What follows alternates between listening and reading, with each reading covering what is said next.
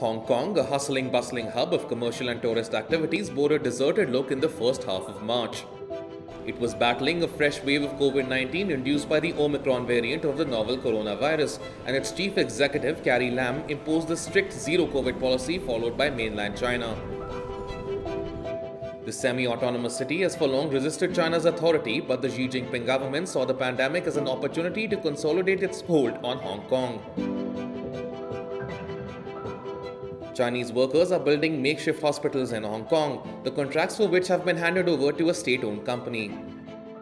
Doctors and medical staff from the mainland have been sent there to treat patients.